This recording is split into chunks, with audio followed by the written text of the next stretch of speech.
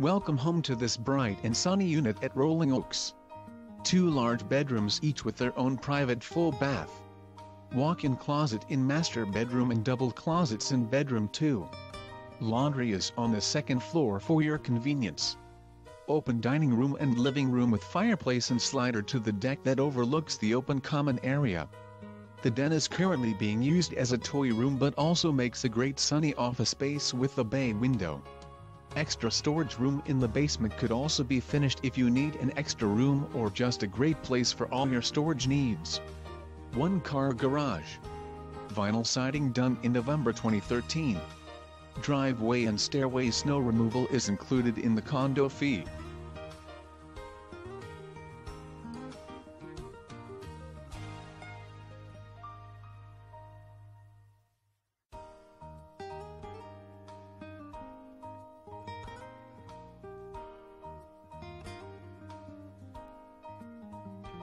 Text H80932 to 51004 for current information.